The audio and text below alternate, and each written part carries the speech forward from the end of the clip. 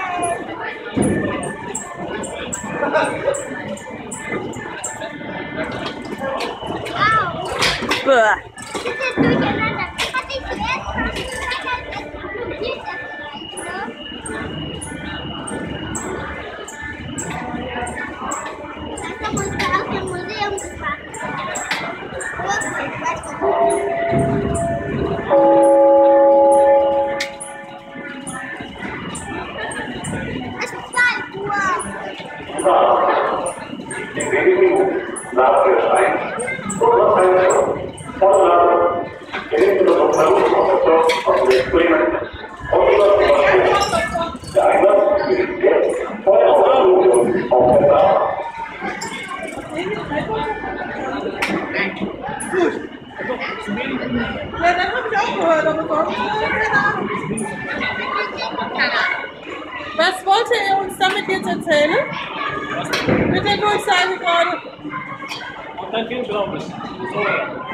Das heißt glaube ich.